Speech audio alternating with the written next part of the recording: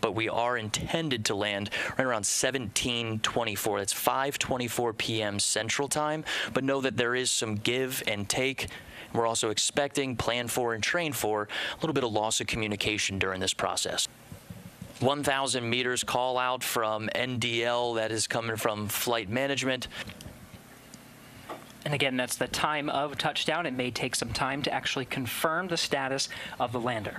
And in this process, we do have a deployment of Eagle Cam attempting to take the third person images of Nova C going down to the lunar surface. We are inside of one minute, Gary.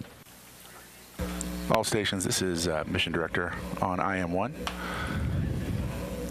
We're evaluating uh, how we can refine that signal and uh, dial in the pointing for our dishes. What we can confirm, without a doubt, is our equipment is on the surface of the moon and we are transmitting. So, congratulations, IM team. We'll see how much more we can get from that.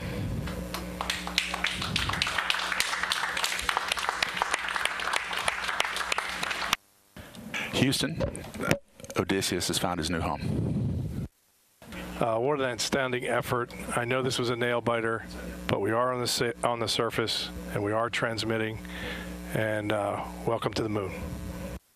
They're monitoring every step and all the data coming from Nova C ahead of PDI, which is scheduled just a little bit after 5:11 p.m. Central Time. This is an autonomous lunar lander, and flight controllers are monitoring communications and tracking the progress right along with the public right now with us. Nova C has the helm.